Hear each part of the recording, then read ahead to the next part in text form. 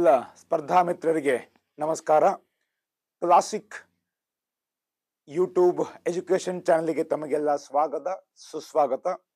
Heartly welcome to you to the classic education YouTube channel my dear friends. Hope you are all studying for the upcoming or forthcoming examinations. notification may take place anytime that is of uh, either psi or kas okay so please be prepared and keep ready for yourselves. And uh, as far as commercial tax inspector examination is concerned we have been uh, learning uh, some vocabulary. Continuing this today we are entering into the important concept that is grammar. Yes ಆಕಾಂಕ್ಷಿಗಳೇ, ಮುಂಬರುವ ಪರೀಕ್ಷೆಗಳಿಗೆ ಆಶಾವಾದಿತ್ವದಿಂದ, ಸಕಾರಾತ್ಮಕ ಮನೋಭಾವದಿಂದ ಅಧ್ಯಯನ ಮಾಡ್ತಾ ಇದ್ದೀರಿ ಅನ್ಕೊಂಡಿದ್ದೀನಿ. C T I call form ಆಗಿದೆ. ಇನ್ನು ಮುಂದೆ ಕೆ ಎಸ್ಸು ಆಗತ್ತೆ, ಪಿ ಎಸ್ ಐ ಆಗತ್ತೆ. ಎಂಬ ಮನೋಭಾವದಿಂದ ತಯಾರಾಗಿ ಕುಳಿತುಕೊಳ್ಳಿ. ಯಾಕಂದ್ರೆ ನೋಟಿಫಿಕೇಶನ್ ಆದ್ಮೇಲೆ we should be ready to enter in to the examination hall okay ಆ ನಿಟ್ಟಿನಲ್ಲಿ ಬಹುತೇಕವಾಗಿ ಎಲ್ಲ ಪರೀಕ್ಷೆಗಳಿಗೂ ಅನ್ವಯವಾಗುವ ಖಾಸಗಿ ಕಂಪ್ನಿಗಳಲ್ಲಿ ಒಂದು ಉದ್ಯೋಗ ಪಡಿಬೇಕಂದ್ರೆ ಅಲ್ಲಿಯೂ ಸಹಿತ ಸಂದರ್ಶನದ ದೃಷ್ಟಿಯಿಂದ, ಸಂವಹನ ದೃಷ್ಟಿಯಿಂದ ಅಗತ್ಯವಿರುವ ಪದ ಸಂಪತ್ತು ವಕ್ಯಾಬರಿ ಭಾಗವನ್ನ ಕಲಿತಾ ಇದ್ದೀವಿ. ಈ ಹಿಂದೆ ಆಂಟೋನಿಮ್ಸ್ ವಿರುದ್ಧಾರ್ಥಕ ಪದಗಳು, ಸಿನೋನಿಮ್ಸ್ ಸಮಾನಾರ್ಥಕ ಪದಗಳು, ಇಡಿಯಮ್ಸ್ ಅಂಡ್ ಫ್ರೇಸಸ್ ನುಡಿಗಟ್ಟುಗಳು ಮತ್ತು ಪದಗುಚ್ಛಗಳು. ಕೆಲವೊಂದು ಉದಾಹರಣೆಗಳನ್ನ ಕಲ್ತಿದ್ದೀವಿ. ಇವತ್ತು ಒಂದು ಮಹತ್ವದ ಇನ್ನೊಂದು ಭಾಗವನ್ನ ಕಲಿತಾ ಇದ್ದೀವಿ. ವಿಶೇಷವಾಗಿ ಮುಂಬರುವ ಸಿ ಟಿ ಐ ಎಕ್ಸಾಮಿನಿಗೆ ಬಟ್ ಈ ವ್ಯಾಕರಣ, ಈ ಗ್ರಾಮರ್ ಎಲ್ಲ ಪರೀಕ್ಷೆಗಳು ಅನ್ವಯ ಆಗುತ್ತೆ. It applies to every examination including I A S K A S P S I etcetera etcetera where you will have the questions based on this in your eligibility tests or qualifying examinations as far as UPSC and KPSC case examinations are concerned. Okay my dear friends ಯಾವುದಕ್ಕೂ ಬರೀ ಮಾರ್ಕ್ಸಿಗಂತೆ ಅಲ್ಲ, ಬರೀ ಅಂಕಗಳಿಗಂತೆ ಅಲ್ಲ, ಒಂದು ಒಳ್ಳೆಯ ವ್ಯಕ್ತಿತ್ವಕ್ಕೆ, ಒಳ್ಳೆಯ ಜ್ಞಾನಕ್ಕೆ ಓಕೆ ಒಂದು ಭಾಷೆಯನ್ನ ಕಲಿಬೇಕು. ನಮ್ಮ ಮಾತೃಭಾಷೆ ಕನ್ನಡ, ವ್ಯಾವಹಾರಿಕ ಭಾಷೆ ಇಂಗ್ಲಿಷ್ ಭಾಷಾಂತರಕ್ಕೆ ಆಗಲಿ ಕಮ್ಯುನಿಕೇಶನ್ಗಾಗಲಿ we should learn both grammar and vocabulary ವೊಕ್ಯಾಬ್ಲರಿಗಾಗಲೇ ಕೆಲವು ಭಾಗಗಳನ್ನ ಮಾಡಿದ್ದೀವಿ. ಇವತ್ತು ವಿಶೇಷವಾಗಿ ವ್ಯಾಕರಣದ ಕೆಲ ಭಾಗವನ್ನ ಕಲಿಯೋಣ. Yes my dear friends commercial tax inspector group C ಅಂತ ಇದರದ್ದು ಟೈಟ್ಲ್ ಇದ್ರೂ it is applicable for every examination mind you okay ಇದು ಎಲ್ಲ ಪರೀಕ್ಷೆಗಳಿಗೂ ಅನ್ವಯ ಹೆಂಗಿರುತ್ತೆ? Day what is a subject today yes my dear friends identification of grammatically incorrect part of a sentence. ಅಂದ್ರೆ ಒಂದು ವಾಕ್ಯದಲ್ಲಿನ ವ್ಯಾಕರಣ ದೋಷವಿರುವ ತಪ್ಪು ವ್ಯಾಕರಣವಿರುವ ಭಾಗವನ್ನ ಕಂಡು ಹಿಡಿಬೇಕು ಅದನ್ನೇ ಕಣ್ಣಲ್ಲಿ ಬರೆದಿದ್ದೀವಿ, ಒಂದು ವಾಕ್ಯದಲ್ಲಿಯ ವ್ಯಾಕರಣ ದೋಷವಿರುವ ಭಾಗವನ್ನು ಗುರುತಿಸುವುದು. ಓಕೆ? ಇದನ್ನು ಸಹಿತ ಎರಡು ಮೂರು ಶೈಲಿಗಳಲ್ಲಿ ಕೇಳಬಹುದು. Okay? So step by step ಹೇಳ್ತಾ ಹೋಗ್ತೀನಿ. Let's go to the first sentence the cattle is grazing in the field okay? ಅವರು ಈ ರೀತಿ ಕೊಟ್ಟು ದ ಕ್ಯಾಟಲ್ ಎ ಭಾಗ ಈಸ್ ಗ್ರೇಸಿಂಗ್ ಬಿ ಭಾಗ ಇನ್ ದ ಸಿ ಭಾಗ ಫೀಲ್ಡ್ ಡಿ ಭಾಗ, ಈ ರೀತಿ ಕೊಡಬಹುದು ಅಥವಾ ಇನ್ ಸಿ ಭಾಗ ದ ಫೀಲ್ಡ್ ಡಿ ಭಾಗ ಕೊಡಬಹುದು ನೇರವಾಗಿ ಯಾವ ಭಾಗದಲ್ಲಿ ದೋಷವಿದೆ ಅಂತನೂ ಕೇಳಬಹುದು ಕೆಳಗಡೆ A B C D option ಕೊಡಬಹುದು ಅಥವಾ ಅದಕ್ಕೆ ಸಮಾನಾರ್ಥಕವಾದ, ಎಲ್ಲಿ ದೋಷ ಇದೆ ಅದಕ್ಕೆ ಸರಿಯಾದ ಉತ್ತರ ಎಲ್ಲಿ ಅಂತ ನಾಲ್ಕು ಆಯ್ಕೆಗಳನ್ನ ಕೊಡಬಹುದು. ಮುಂದೆ ಒಂದು ಉದಾಹರಣೆಯಲ್ಲಿ ನಾನು ಹೇಳ್ತೀನಿ. The cattle is grazing in the field first of all ಇದಕ್ಕೂ ವೊಕ್ಯಾಬ್ಲರಿ ಬೇಕು. ಕ್ಯಾಟಲ್ ಅಂದ್ರೆ ಏನು? ಅದು ಏಕವಚನನ ಬಹುವಚನನ? ಕ್ಯಾಟಲ್ ಅಂದ್ರೆ ಜಾನುವಾರು ದನ ಕರುಗಳು ಬಹುವಚನ ಆಗತ್ತೆ. ಓಕೆ ಇನ್ನ ಇದು ಅರ್ಥ ಆಗ್ಬೇಕಂದ್ರೆ my dear friends very basic ನಾನು ಭಾಷಾಂತರ ಮಾಡ್ಬೇಕಾದ್ರೆ ತಮ್ಮ ನೆನಪಿರಬಹುದು ಒಂದು ವಿಷಯವನ್ನ ಹೇಳಿದ್ದೆ. ನಾಲ್ಕು ರೂಪಗಳನ್ನ ನೆನಪಿಟ್ಕೋಬೇಕು. ಈ ರೂಪಗಳನ್ನು ಮತ್ತು ಈ ಬೇಸಿಕ್ ಟೇಬಲ್ನ ಏನು ಹೇಳ್ತಾ ಇದ್ದೀನಿ, ಅದು ನೆನಪಿಟ್ಕೊಂಡ್ರೆ ಇಂತಹ ಹಲವಾರು ಪ್ರಶ್ನೆಗಳಿಗೆ, ಓಕೆ, ಆರಾಮ್ಸೆ ಉತ್ತರ ನೀಡಬಹುದು ಏನದು? ನಾಲ್ಕು ರೂಪಗಳು ನಮ್ಮ ಅನುಕೂಲಕ್ಕೆ, ಓಕೆ? ಕನ್ನಡ ವಾಕ್ಯದ ಕೊನೆಯ ಪದದಲ್ಲಿ ಆಕ್ಷನ್ ಅಥವಾ ಕ್ರಿಯೆ ಇದ್ರೆ ಡೂ ರೂಪ ಅವಾಗ ಮೇನ್ ವರ್ಬ್ ಬಳಕೆ ಮಾಡಬೇಕು. ಭಾಷಾಂತರದಲ್ಲಿ ಅಥವಾ ವಾಕ್ಯ ರಚನೆಯಲ್ಲಿ. ಕನ್ನಡ ವಾಕ್ಯದ ಕೊನೆಯ ಪದದಲ್ಲಿ ಇರುವಿಕೆ ಅಸ್ತಿತ್ವ ಇದ್ರೆ ಬಿ ರೂಪ ಹೆಲ್ಪಿಂಗ್ ವರ್ಬ್ ಬಳಕೆ ಮಾಡುವಂಥದ್ದು. ಪರೋಕ್ಷ ಕ್ರಿಯೆ ಇದ್ರೆ ಬಿ ಪ್ಲಸ್ ಡೂ ರೂಪ passive form helping verb plus V three ಬಳಕೆ ಮಾಡುವಂಥದ್ದು. ಇನ್ನ ಹೊಂದು ಅಂತ ಪದ ಇದ್ರೆ ಹ್ಯಾವ್ ರೂಪ ಹ್ಯಾವ್ ಅಥವಾ ಹ್ಯಾಸ್ ಬಳಕೆ ಮಾಡುವಂಥದ್ದು. ಹಿ ಶಿ ಇಟ್ ಇದ್ದಾಗ has I you they we ಇದ್ದಾಗ ಹ್ಯಾವ್ ಇದನ್ನ ಈಗಾಗಲೇ ಹೇಳಿದ್ದೀನಿ. ಇನ್ನ do be be plus do ಮತ್ತೆ ಹ್ಯಾವ್ ಆ ರೂಪಗಳ ಸಿಂಪಲ್ ಪ್ರೆಸೆಂಟ್, ಸಿಂಪಲ್ ಪಾಸ್ಟ್ ಮತ್ತು ಸಿಂಪಲ್ ಫ್ಯೂಚರ್ ಟೇಬಲ್ ಅನ್ನ ಕಲಿಯೋಣ. ಮೈ ಡಿಯರ್ ಫ್ರೆಂಡ್ಸ್ ಅದಕ್ಕೆ ನಾವು ಸರಳವಾಗಿ S P P F table of do ಅಥವಾ ಬಿ ಅಂತ ತಿಳ್ಕೊಳ್ಳೋಣ. ಈಗ S P P F table of be form ಅನ್ನ ಅರ್ಥ ಮಾಡ್ಕೊಳ್ಳೋಣ. ಏನಪ್ಪಾ ಅಂತಂದ್ರೆ ನಂಬರ್ ಒನ್ ಐ ಇದು ಸಿಂಪಲ್ ಪ್ರೆಸೆಂಟ್ ಸಿಂಪಲ್ ಪಾಸ್ಟ್ ಮತ್ತು ಸಿಂಪಲ್ ಫ್ಯೂಚರ್ ಅಂತ ತಿಳ್ಕೊಂಡ್ರೆ yes my dear friends I am I was I shall be ನಾನು ಇರುತ್ತೇನೆ, ಇದ್ದೇನೆ, ಇದ್ದೀನಿ, ನಾನು ಇದ್ದೆ, ಅಥವಾ ಇದ್ದೇನು, ನಾನು ಇರುವೆನು, ಅಥವಾ ಆಗುವೆನು. ಹಂಗೆ ತಗೊಂಡಾಗ ನೆಕ್ಸ್ಟ್ ಸರ್ವನಾಮ ಯು ಯು ಆರ್ ಪಾಸ್ಟ್ ಟೆನ್ಸ್ದಲ್ಲಿ ಯು ವರ್ ಫ್ಯೂಚರ್ದಲ್ಲಿ ಯು ವಿಲ್ ಬಿ ನೀನು ಇರುತ್ತಿ ಅಥವಾ ಇದ್ದಿ, ನೀನು ಇದ್ದೆ, ನೀನು ಇರುವಿ ಅಥವಾ ಆಗುವಿ, ಏಕವಚನ. ನೀವು ಇರುತ್ತೀರಿ ಅಥವಾ ಇದ್ದೀರಿ, ನೀವು ಇದ್ರಿ, ನೀವು ಇರುವಿರಿ ಅಥವಾ ಆಗುವಿರಿ. ಹಿಂಗೆ ಆ you he she it they we ಏಳು ಸರ್ವನಾಮಗಳಿಗೆ ಈ ಒಂದು basic S P P F table is very important ಈಗ ಹಿಂದಿನ ಉದಾಹರಣೆಯಲ್ಲಿ ಕ್ಯಾಟಲ್ ಅಂತ ಇದೆ. ಕ್ಯಾಟಲ್ ಅಂದ್ರೆ ಬಹುವಚನ ದನ ಕರುಗಳು ಅಥವಾ ಜಾನುವಾರು ಅಂತ ಹೇಳಿದೀವಿ. ಏಕವಚನ ಅಲ್ಲ ಬಹುವಚನ. ಬಹುವಚನ ಇದ್ದಾಗ ದೇ ಬರುತ್ತೆ. ಇನ್ನ ದೇ ಇದ್ದಾಗ ನೇರವಾಗಿ ಅದೇ ಎಕ್ಸಾಂಪಲ್ ಬರ್ತೀನಿ. ದೇ, ಆರ್ ಬರುತ್ತೆ. They, are. ಪಾಸ್ಟನ್ಸ್ ದಲ್ಲಿ ದೇ ವರ್ ಫ್ಯೂಚರ್ದಲ್ಲಿ ದೇ ವಿಲ್ ಬಿ ಬಿ ರೂಪದ ಈ ಟೇಬಲ್ ಅನ್ನ ಅವಶ್ಯವಾಗಿ ಬಳಕೆ ಮಾಡಬಹುದು ಉಪಯೋಗ ಮಾಡ್ಕೊಳ್ಳಿ. ಯಾವ ಸರ್ವನಾಮದ ಜೊತೆಗೆ, ಯಾವ ಹೆಲ್ಪಿಂಗ್ ವರ್ಬ್ ಬಹಳ ಮಹತ್ವದ್ದು. ಐ ಜೊತೆಗೆ ಪ್ರೆಸೆಂಟ್ ಟೆನ್ಸ್ ಅಲ್ಲಿ ಮಾತಾಡ್ತಾ ಇದ್ದೀವಿ. ಯು ಜೊತೆಗೆ ಆರ್ ದೇ ಜೊತೆಗೆ ಆರ್ ವಿ ಜೊತೆಗೆ ಆರ್ ಹಿ ಶಿ ಇಟ್ ಇಲ್ಲಿ ಬರ್ದಿಲ್ಲ, ಆದ್ರೆ ಮೌಖಿಕವಾಗಿ ಹೇಳ್ತಾ ಇದ್ದೀನಿ. ಹಿ ಶಿ ಇಟ್ ಇದ್ದಾಗ ಈಸ್ ಬರುತ್ತೆ. ಇವುಗಳನ್ನ ನೆನಪಿಟ್ಟುಕೊಂಡಾಗ they are they were they will be ಜಾನುವಾರುಗಳು ಇದ್ದಾವೆ, ಇದ್ದವು, ಇರುವವು, ಆಗುವವು. ಇದು ಮತ್ತು ಡೂ ರೂಪ ಎರಡು ಕಾಂಬೈನ್ ಆದಾಗ ಪ್ರೆಸೆಂಟ್ ಕಂಟಿನ್ಯೂಸ್ ಆಗುತ್ತೆ ಹೇಳ್ತೀನಿ. ಸೊ ಇಷ್ಟು ನೀವು ನೆನಪಿಟ್ಕೊಳ್ಳಿ ಏನಾಯ್ತು ಈಗ?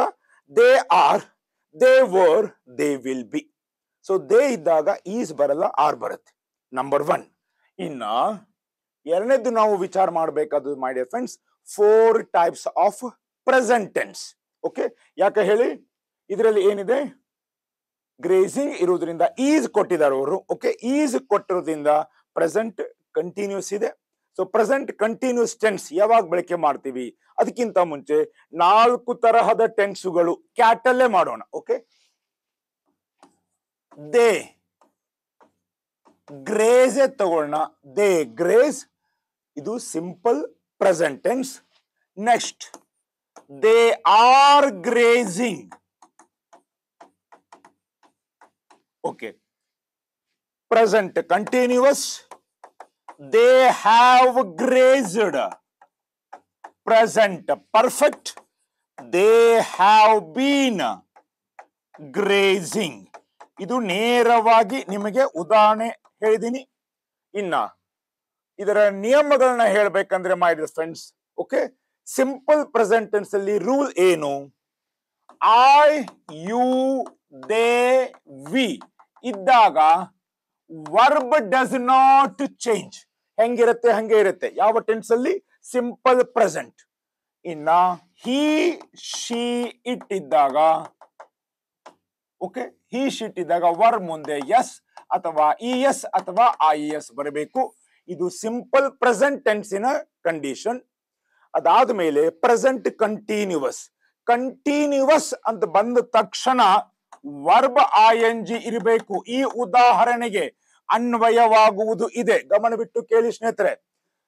ವರ್ಬ್ ಐ ಎನ್ ಜಿ ಬಂದಿದೆ ಅಂದಮೇಲೆ ಅದು ಅಂದ್ರೆ ಅದರ ಹಿಂದೆ ಹೆಲ್ಪಿಂಗ್ ವರ್ಬ್ ಇದೆ. ಪ್ರೆಸೆಂಟ್ ಕಂಟಿನ್ಯೂವಸ್ ಅದರ ಹಿಂದೆ ಬಿ ರೂಪದ ಸಹಾಯಕ ಕ್ರಿಯಾಪದಗಳು ಇರಬೇಕು ಬಿ ರೂಪದ ಸಹಾಯಕ ಕ್ರಿಯಾಪದಗಳು ಈಗ ನಾವು ಕಲ್ತ್ವಿ. S P P F table of be either am are is are are okay I ಇದ್ದಾಗ ಆಮ್ ಆ ಇದ್ದಾಗ ಆಮ್ ಹಿ ಶಿ ಇಟ್ಟಿದ್ದಾಗ ಈಸ್ ದೇ ಯು ವಿ ಇದ್ದಾಗ ಆರ್ ಓಕೆ ಸದ್ಯದ ಮಟ್ಟಿಗೆ ಇದೇ ಟೆನ್ಷನ್ ತಗೊಳ್ಳೋಣ. ಯಾಕಂದ್ರೆ ಅದು ಅಲ್ಲೇ ಕೇಳಿದ್ದಾರೆ.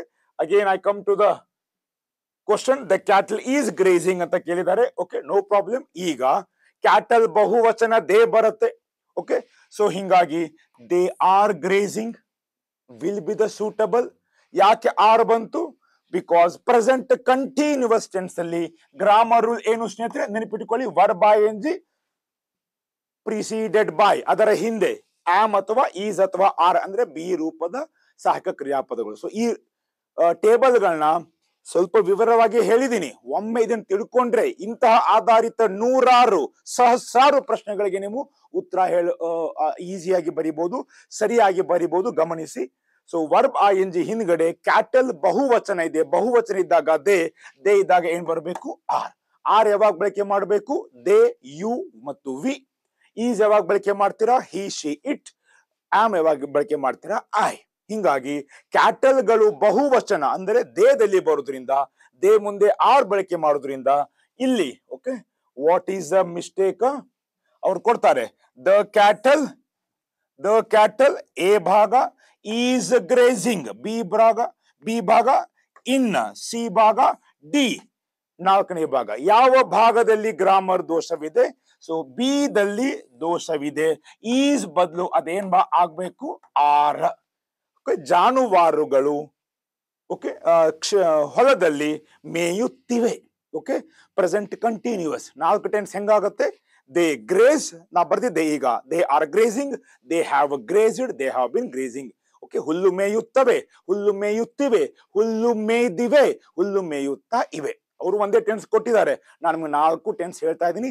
ಹೆಂಗೆ ಗುರ್ತು ಹಿಡಿಬೇಕು ಹೇಳ್ತಾ ಇದ್ದೀನಿ ಓಕೆ ಸೊ ಮೂಲ S P P F table of be do have ಮತ್ತೆ ಹ್ಯಾವ್ ಈ ಮೂರು ಟೇಬಲ್ಗಳನ್ನ ನೀವು ನೆನಪಿಟ್ಕೊಂಡ್ಬಿಟ್ರೆ we can do it okay this is the grammar basic grammar ಅದ್ರ ಮೇಲೆ ಆಧಾರಿತವಾಗಿರೋದು. So where is the grammar where is the wrong grammar cattle is ಬದಲು ಏನ್ ಬರಬೇಕು ಸ್ನೇಹಿತರೆ? ಆರ್ ಇನ್ನ ಪ್ರಶ್ನೆ ಹಿಂಗೂ ಕೊಡಬಹುದು ಅಥವಾ ಮುಂದೆ ಇದಕ್ಕೆ ಆನ್ಸರ್ ಕೊಡಬಹುದು ಏನ್ ಕೊಡ್ತಾರೆ? Okay the cattle is grazing in the field A B C, D. ಅವ್ರು ಕೊಡ್ಬೋದು ಇ, ಬಿ ಎಲ್ಲಿ ದೋಷ ಇದೆ. ಇದಕ್ಕೆ ಸಮಾನಾರ್ಥಕವಾದ ಪದ ಪದ ಸರಿಯಾದ ಪದ ಯಾವುದು? A, are grazing, B, C, D. ಬೇರೆ ಬೇರೆ ಏನು ಆಪ್ಷನ್ ಕೊಡ್ಬೋದು? ನೀವು ಸೆಲೆಕ್ಟ್ ಮಾಡ್ಬೇಕಾದ್ದು ಆರ್ ಗ್ರೇಸಿಂಗ್. ಸೊ ಪ್ರಶ್ನೆಗಳು ಯಾವುದೇ ಟೈಪ್ ಅನ್ನು ಕೇಳಿದ್ರು ಸಹಿತ ಮೈ ಡಿಯರ್ ಫ್ರೆಂಡ್ಸ್ ನಿಮಗೆ ಮೂಲ ಗೊತ್ತಿದ್ರೆ ಆರಾಮ್ಸೆ ಉತ್ತರ ಬರೀಬಹುದು ನಾನು ನಿಮಗೆ ಮೂಲ ರೂಪವನ್ನೇ, ಮೂಲ ವ್ಯಾಕರಣವನ್ನೇ ಹೇಳ್ತಾ ಇದ್ದೀನಿ okay so cattle is grazing ಅಲ್ಲ cattle are grazing in the field ಅದರ ಅರ್ಥ ಜಾನುವಾರುಗಳು ಅಥವಾ ದನಕರುಗಳು ಹೊಲದಲ್ಲಿ ಓಕೆ ಹುಲ್ಲನ್ನು ಮೇಯುತ್ತವೆ. ಇನ್ನು ಫೀಲ್ಡ್ಗೂ ಸಹಿತ ಹೋಮೋನಿಮ್ ಇದೆ, ಕ್ಷೇತ್ರ ಅಂತೀವಿ, ಬೇರೆ ಬೇರೆ ಹೆಸರು ಮೀನ್ ಅರ್ಥ ಇರುತ್ತೆ, ಇದನ್ನ ಡಿಕ್ಷನರಿ ನೋಡಿಕೊಂಡು ಬರೆದಿಟ್ಕೊಳ್ಳಿ. ನಮ್ಮಲ್ಲೇ ಹೇಳ್ದಂಗೆ ಬರೀ ಒಂದೇ ಒಂದು ಮಾಡೋದು ಬೇಡ. ವಿ ಶುಡ್ ಸ್ಟಡಿ ಆಲ್ ಅದರಲ್ಲಿ ಏನೇನಿದೆ ಎಲ್ಲವನ್ನ ಒಕ್ಯಾಬ್ಲರಿ ಗ್ರಾಮರ್ ಹೋಮೋನಿಮ್ಮ ಹೋಮೋಫೋನ ಸಿನಾನಿಮ್ಮ ಆಂಟೋನಿಮ್ಮ ಈಡಿಯಂ ಏನಾದರೂ ಇದೆನಾ? ಫ್ರೇಸ್ ಏನಾದರೂ ಇದೆನಾ? ಎಲ್ಲವನ್ನ ಡಿಟೇಲ್ ಆಗಿ ಅದಕ್ಕೆ ಡಿಕ್ಷನರಿ ಬೇಕು ಪೆನ್ ಪುಸ್ತಕ ಬೇಕು. ಆ ರೀತಿ ನಾವು ಮಾಡಿದಾಗ ಈಸಿಯಾಗಿ ಮಾಡಬಹುದು so the final answer is not is grazing it is are grazing hope you know it okay yes my dear friends friends let's move on to the next example ಹಾ, ಈ ರೀತಿ. ಅದಕ್ಕೆ ನೆಕ್ಸ್ಟ್ ಇದೇ ತರ ಕೇಳಿದೆ ನೋಡಿ ಕ್ವಶನ್ ಈ ರೀತಿನೂ ಕೇಳ್ಬಹುದು ನಿಮಗೆಲ್ಲ ತರದ ಈ ರೀತಿ ಕೇಳಿ ಮುಂದೆ ಒಂದೊಂದೇ ಸೆಂಟೆನ್ಸ್ ಅನ್ನ ಗ್ರಾಮರ್ ದೋಷವನ್ನೇ ನಾವು ನೇರವಾಗಿ ಹೆಂಗ್ ಕಡಿಯೋದು ಕಂಡು ಹಿಡಿಯೋದು ಅದನ್ನೇ ಕಲಿತಾ ಹೋಗೋಣ. ಸ್ಲಮ್ ಡಾಗ್ ಮಿಲಿಯನರ್ ಇದು ಒಂದು ಚಲನಚಿತ್ರದ ಹೆಸರು. Is one of the best movie in the world ಅವ್ರೇನ್ ಕೊಡ್ತಾರೆ? ಸ್ಲಮ್ ಡಾಗ್ ಮಿಲಿಯನರ್ ಇಲ್ಲಿ ನೋಡಿ, ಇದು ಚೇಂಜ್ ಆಗ್ಬೇಕಾ? ಅಥವಾ is one of is one of ಇದು ಚೇಂಜ್ ಆಗ್ಬೇಕಾ? ಅಥವಾ ಇಲ್ಲಿ ದೋಷ ಇದೆನಾ? ಈಸ್ ಒನ್ ಆಫ್ ದೋಷ ಇದೆನಾ? ಮುಂದೆ the best movie the best movie ಇಲ್ಲೇ ದೋಷ ಇದೆನಾ? ಅಥವಾ ಇನ್ ದ ವರ್ಲ್ಡ್ ಇಲ್ಲೇ ದೋಷ ಇದೆನಾ? ಈ ನಾಲ್ಕು ಭಾಗದಲ್ಲಿ ಎಲ್ಲೂ ದೋಷವಿದೆ. ಈ ರೀತಿನೂ ಕೇಳ್ಬಹುದು ಓಕೆ ಕೇಳ್ಕೊಳ್ಳಿ. ಇದು ಚಲನಚಿತ್ರದ ಹೆಸರು. ಈಸ್ ಒನ್ ಆಫ್ ಅಂದ್ರೆ ಬಹಳಷ್ಟು ಇದಾವೆ. ಬಹುವಚನ, ಹಲವಾರು ಚಲನಚಿತ್ರಗಳು ಜಗತ್ತಿನಲ್ಲಿ. ಅದರಲ್ಲಿ ಈ ಚಲನಚಿತ್ರ okay one of the best ಒಳ್ಳೆಯ ಚಲನಚಿತ್ರ. ಸೊ ಜಗತ್ತಿನ ಹಲವಾರು ಚಲನಚಿತ್ರಗಳು ಏನಾಗುತ್ತೆ? ಬಹುವಚನ. ಸೊ ಚಲನಚಿತ್ರಗಳು ಏನಾಗುತ್ತೆ? ಮೂವೀಸ್ ಬಟ್ ಅವ್ರೇನು ಕೊಟ್ಟಿದ್ದಾರೆ? ಮೂವಿ ಹಿಂಗನೆ ನಿಮ್ಗೆ ಗೊತ್ತಾಗ್ಬಿಡ್ಬೇಕು. ಈ ರೀತಿ ನೆನಪಾದ ಈ ರೀತಿ ನಾವು ವಿಚಾರ ಮಾಡ್ದಂಗೆ ಗೊತ್ತಾಗಬೇಕು. ಇಲ್ಲಿ ಮೂವಿ ಅಲ್ಲ ಮೂವೀಸ್ ಆಗ್ಬೇಕು. ಸೊ ದ ಗ್ರಾಮರ್ ದೋಷ ಎಲ್ಲಿದೆ? ಹಲವಾರು ಚಲನಚಿತ್ರಗಳಲ್ಲಿ ಇದು ಒಂದು ಒಳ್ಳೆಯ ಚಲನಚಿತ್ರ. ಸೊ ಹೀಗಾಗಿ ಹಲವಾರು ಚಲನಚಿತ್ರಗಳು ಅಂತ ಹೇಳ್ಬೇಕಾದ್ರೆ ದ ಬೆಸ್ಟ್ ಮೂವೀಸ್ ಅಂತ ಹೇಳಬೇಕು. ಸೊ ವ್ಯಾಕರಣ ದೋಷ ಎಲ್ಲಿದೆ? ನೀವು ಆನ್ಸರ್ ಟಿಕ್ ಮಾಡಬೇಕಾದದ್ದು ಟೈಪು ದ ಬೆಸ್ಟ್ ಮೂವಿ. ಯಾಕೆ? ಮೂವಿ ಬದಲು ಅದೇನಾಗಬೇಕು? ಮೂವೀಸ್ ಆಗಬೇಕು. So slumdog millionaire is one of the best movies in the world okay so ಈ ರೀತಿ ಏಕವಚನ, ಬಹುವಚನದ ಆಧಾರಿತವಾಗಿರೋದು. ಓಕೆ ಸೊ ಈ ಚಲನಚಿತ್ರವು ಜಗತ್ತಿನ ಬಹುತೇಕವಾದ ಒಳ್ಳೆಯ ಚಲನಚಿತ್ರಗಳಲ್ಲಿ ಒಂದು ಆಗಿದೆ. ಬಹಳಷ್ಟು ಒಳ್ಳೆಯ ಚಿತ್ರ ಚಲನಚಿತ್ರಗಳು- ಚಲನಚಿತ್ರಗಳು ಇದಾವೆ. ಚಲನಚಿತ್ರಗಳು ಇದಾವೆ ಅಂದಾಗ ಅಲ್ಲೇ ನಿಮ್ಗೆ ಗೊತ್ತಾಗಬೇಕು. ಬಹುವಚನ ಸೊ ಅದರ ಬಹುವಚನ ಇದ್ದಾಗ ಮೂವಿ ಇದರ ಬಹುವಚನ ಮೂವೀಸ್ ಮತ್ತು ಮೈ ಡಿಯರ್ ಫ್ರೆಂಡ್ಸ್ ಈ ಒಂದು ನೆಪದಿಂದ ನಿಮಗೊಂದು ಚಟುವಟಿಕೆ ಕೊಡ್ತೀನಿ my dear friends please do it what is that make a list of make a list of nouns ending with make a list of nouns ending with ಈಗ ನಾವು ಬರೆದಿರೋದು ಎಸ್ ಅಥವಾ ಇ ಎಸ್ ಅಥವಾ ಐ ಇ ಎಸ್ ಅಥವಾ V E S ಇದಕ್ಕೆ ನೀವು ಅವಶ್ಯವಾಗಿ ನಿಮ್ಮ ಮೊಬೈಲ್ ಗೂಗಲ್ ಅನ್ನ ಉಪಯೋಗ ತಗೋಬಹುದು. ಜೊತೆ ಜೊತೆಗೆ ಡಿಕ್ಷನರಿ ಇರಬೇಕು. ಲಿಸ್ಟ್ ಕೊಡ್ತಾರೆ. ಅವನ್ನ ಕನ್ಫರ್ಮ್ ಮಾಡ್ಕೊಳ್ಳಿ. ಅವುಗಳ ಅರ್ಥವನ್ನ ನೋಡ್ಕೊಳ್ಳಿ. Okay S E S I S ಮತ್ತು ವಿ ಇ ಎಸ್ ಇಂದ ಕೊನೆಗೊಳ್ಳುವ ನೌನ್ಸ್ ಅನ್ನು ಮೊದಲು ಲಿಸ್ಟ್ ಮಾಡಬಹುದು ಅದಾದ್ಮೇಲೆ S E S I S ಇಂದ ಕೊನೆಗೊಳ್ಳುವ ವರ್ಬ್ಸ್ ಅನ್ನು ಸಹಿತ ಲಿಸ್ಟ್ ಮಾಡಬಹುದು ಅದು ಮಾಡಿಟ್ಕೊಳ್ಳಿ ಸೊ ವೊಕ್ಯಾಬರಿ ಜಾಸ್ತಿ ಮಾಡ್ತಾ ಇರಿ. ಓಕೆ ಸೊ ಈ ರೀತಿ ಇರೋದ್ರಿಂದ ಅಂತ ಎಕ್ಸಾಂಪಲ್ ಅನ್ನು ನಾವು ಈಸಿಯಾಗಿ ಎದುರಿಸಬಹುದು ಮೂರನೇದು peoples should be sincere and loyal to their works ಇದು ಸಹಿತ ಏಕವಚನ, ಬಹುವಚನ. ವಚನಕ್ಕೆ ಏನಂತೀವಿ? Number in which number is it ಅದು ಏಕವಚನ, ಬಹುವಚನ ಅಂತ ಕೇಳಕ್ಕೆ ವಾಟ್ ಈಸ್ ದ ಕ್ವಶನ್ ನೋಡಿ, ಲಿಂಗಕ್ಕೆ ಜೆಂಡರ್ ಅಂತ ಹೇಳ್ತೀವಿ ಓಕೆ ಆ ರೀತಿ ವಚನಕ್ಕೆ ಏನು ಹೇಳ್ತೀವಿ? ನಂಬರ್ ಅಂತ ಹೇಳ್ತೀವಿ. ಇದಕ್ಕೆ ಏಕವಚನ ಮತ್ತು ಬಹುವಚನದ ಮಾಹಿತಿ ಬಹಳ ಮಹತ್ವದ್ದು ಓಕೆ ಎಲ್ಲ ಬಹುವಚನಗಳು ಎಸ್ ದಿಂದನೇ ಕೊನೆಗೊಳ್ಳುವುದಿಲ್ಲ. ಇದನ್ನ ಅವಶ್ಯವಾಗಿ ಅರ್ಥ ಮಾಡ್ಕೊಳ್ಳಿ. Okay all nouns may not compulsorily and with S to have the plural form of it ಕೆಲವೊಂದು ಇದಾವೆ. Boy boys friend friends officer officers okay ಆದರೆ ಎಲ್ಲನೂ ಹಂಗೆ ಇರ್ಬೇಕಂತಿಲ್ಲ. ಫಾರ್ ಎಕ್ಸಾಂಪಲ್ ಕೆಲವೊಂದು ಸ್ಪೆಲ್ಲಿಂಗು ಚೇಂಜ್ ಆಗ್ತವೆ. ಚೈಲ್ಡ್ ಚಿಲ್ಡ್ರನ್ ಆ ನಿಟ್ಟಿನಲ್ಲಿ ಪೀಪಲ್ ಪೀಪಲ್ ಇರೋದೇ ಇದು ಬಹುವಚನ. ಪೀಪಲ್ ಅಂದ್ರೆ ಜನರು, ಬಹುವಚನ. ಈ ಮತ್ತೆ ಮುಂದೆ ಎಸ್ ಬರಂಗಿಲ್ಲ. ಸೊ ಇದರಿಂದ ನಿಮ್ಗೆ ಗೊತ್ತಾಗ್ಬೇಕು. ಸೊ ಅವ್ರು ಕೇಳ್ತಾರೆ ಪೀಪಲ್ಸ್ ಎ ಭಾಗ ಶುಡ್ ಬಿ ಬಿ ಭಾಗ ಸಿನ್ಸಿಯರ್ ಅಂಡ್ ಲಾಯಲ್ ಡಿ ಭಾಗ ಟು ದ ವರ್ಕ್ಸ್ ಡಿ ಭಾಗ, ಎ, ಬಿ, ಸಿ ಮತ್ತು ಡಿ. ಯಾವ ಭಾಗದಲ್ಲಿ ವ್ಯಾಕರಣ ದೋಷವಿದೆ? ಓಕೆ ಸೊ ನೇರವಾಗಿ ಹೇಳ್ಬೋದು ಪೀಪಲ್ಸ್ ಇದು ಆಗಲ್ಲ, ಯಾಕಂದ್ರೆ ಪೀಪಲ್ ಇಟ್ ಸೆಲ್ಫ್ ಅಂದ್ರೆ ಪೀಪಲ್ ಇರೋದೇ ಬಹುವಚನ ಇರೋದ್ರಿಂದ ಓಕೆ ಜನರು, ಇದರ ಏಕವಚನ ಎ ಪರ್ಸನ್ ಎ ಮ್ಯಾನ್ ಅಂತ ಆಗುತ್ತೆ ಹೊರತು ಸೊ ಪೀಪಲ್ ಬೇಕಂದ್ರೆ ಅಫೆಸ್ಟಫಿ ಬರೀಬಹುದು ಸ್ನೇಹಿತರೆ. ಅಲ್ಲಿ ಬರೆದ್ರೆ ಅರ್ಥ ಏನಾಗುತ್ತೆ? ಜನರ. ಆದ್ರೆ ಇಲ್ಲಿ ಏನು ಅವರ, ಅವರು ಹೇಳುವ ಉದ್ದೇಶ? ಜನರು ಪ್ರಾಮಾಣಿಕರಾಗಿರಬೇಕು ಮತ್ತು ನಿಷ್ಠೆಯುಳ್ಳವರಾಗಬೇಕು ಅವರ ಕೆಲಸಗಳಿಗೆ. ಓಕೆ ಹೆಂಗಾದ್ರೂ ಟ್ರಾನ್ಸ್ಲೇಷನ್ ಮಾಡ್ಕೊಳ್ಳಿ. ಸೊ ಇಲ್ಲಿ ಪೀಪಲ್ಸ್ ಬರಲ್ಲ ಪೀಪಲ್ ಬರುತ್ತೆ. ಹಿಂಗಾಗಿ ಅವರು ಎ ಬಿ ಸಿ ಮತ್ತು ಡಿ ಅಂತ ಮಾರ್ಕ್ ಮಾಡಿದ್ರೆ ನೀವು ಎ ಭಾಗದಲ್ಲಿ ದೋಷವಿದೆ ಅಥವಾ ಕೆಳಗಡೆ ಆಪ್ಷನ್ ಕೊಟ್ಟಿದ್ರೆ ಪೀಪಲ್ಸ್ ಏನಾಗಬೇಕು ಅಂತ ಕೊಟ್ಟಿದ್ರೆ ಒಂದು ವೇಳೆ ಅವರು ಪೀಪಲ್ ಅಥವಾ ಪೀಪಲ್ ಅಫೆಸ್ಟಫಿ ಎಸ್ ಅಥವಾ ಪೀಪಲ್ಸ್ ಅಥವಾ ನನ್ ಆಫ್ ದ ಅಬೌವ್ ಈ ರೀತಿ ಏನಾದರೂ ಕೊಟ್ಟಿದ್ರೆ you should mark so this is a right answer people okay ಇನ್ನ ಪ್ಯೂಪಿಲ್ಸ್ ನೀವು ವರ್ಡ್ ಕೇಳಿದಿರ ಅನ್ಕೊಂಡಿದ್ದೀನಿ. ವಾಟ್ ಇಟ್ ಈಸ್ ಪ್ಯೂಪಿಲ್ಸ್ ಇದು ಆಗತ್ತೆ. ಇದು ಪ್ಯೂಪಿಲ್ಸ್ ಸ್ಪೆಲ್ಲಿಂಗ್ ಬೇರೆ ಇದೆ. ವಿದ್ಯಾರ್ಥಿಗಳಿಗೆ ಪ್ಯೂಪಿಲ್ಸ್ ಅಂತ ಹೇಳ್ತಾರೆ. ಈ ಮೂಲಕ ಹೊಸ, ಆ ವೊಕ್ಯಾಬರಿ ಪದ ಸಂಪತ್ತು ಗೊತ್ತಾಯ್ತು. ಆದರೆ ಜನರು ಎಂಬ ಅರ್ಥಕ್ಕೆ ಓಕೆ ಇದು ಅಫಸ್ಟಫಿ ಅದು ಎಸ್ ಬರಲ್ಲ ಸ್ನೇಹಿತರೆ. ಅಫಸ್ಟಫಿ ಎಸ್ ಬರ್ಬೋದು ಓಕೆ ಸೊ ಫೈನಲ್ ಪೀಪಲ್ ಬಹುವಚನ ಜನರು ಪ್ಯೂಪಿಲ್ಸ್ ವಿದ್ಯಾರ್ಥಿಗಳು ಓಕೆ ಯಾಕಂದ್ರೆ ಇವತ್ತು ಪೀಪಲ್ ಕೇಳಿದ್ರೆ ನಾಳೆ ಇದನ್ನ ಕೇಳ್ಬಹುದು ಓಕೆ ಸೊ ಪೀಪಲ್ ಪೀಪಲ್ಸ್ ಎರಡೂ ಬಹುವಚನಗಳು, ಆದರೆ ಎಲ್ಲ ಬಹುವಚನಗಳು ಎಸ್ ದಿಂದನೇ ಕೊನೆಗೊಳ್ಬೇಕಂತಿಲ್ಲ. ಪೀಪಲ್ ಇದು ಬಹುವಚನದಿಂದ ಮುಂದೆ ಎಸ್ ಬರಲ್ಲ. ಫಸ್ಟ್ ಆಫ್ ಎಸ್ ಬರಬಹುದು, ಅದು ಜನರ ಅಂತ ಆಗತ್ತೆ. ಗಮನವಿರಲಿ ಸೊ ಇಲ್ಲಿ ಮೊದಲ ಭಾಗದಲ್ಲಿ ಗ್ರಾಮರ್ ದೋಷವಿದೆ. ಪೀಪಲ್ಸ್ ಬದಲಿ ಏನಾಗಬೇಕು? People no sooner did the teacher enter the class no sooner did the teacher enter the class ಇದೆಲ್ಲ ಸೇರಿ ಬಂದೆ then the students stood up ಇದು ಶುದ್ಧವಾಗಿ ಸಮುಚ್ಚಯಗಳು ಅಥವಾ ಸಂಯೋಜಾನವಯಗಳು ಅಥವಾ ಕಂಜಂಕ್ಷನ್ಸ್ ಮೇಲೆ ಆಧಾರಿತವಾಗಿರೋ ಪ್ರಶ್ನೆ ಮಾಡಿಯರ್ ಫ್ರೆಂಡ್ಸ್ ಓಕೆ ಶಿಕ್ಷಕರು did past tense past tense ತರಗತಿಯನ್ನ ಪ್ರವೇಶ ಮಾಡಿದ ತಕ್ಷಣ ವಿದ್ಯಾರ್ಥಿಗಳು ಎದ್ದು ನಿಂತರು ಅಂತ ಹೇಳಬೇಕಾಗಿದೆ.